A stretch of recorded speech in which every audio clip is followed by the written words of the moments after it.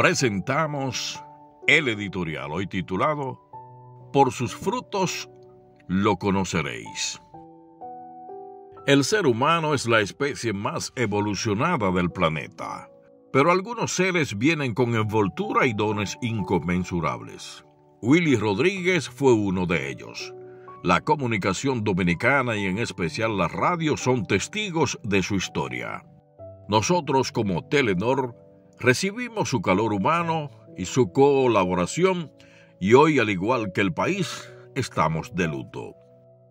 Una voz y un pensamiento que cambiaron la forma de comunicarse nos apaga fruto de la pandemia del siglo. La tierra que te vio nacer y tus hermanos hoy lloramos tu partida. Telenor se une al dolor del país. Descansa en paz, hermano Willy Rodríguez.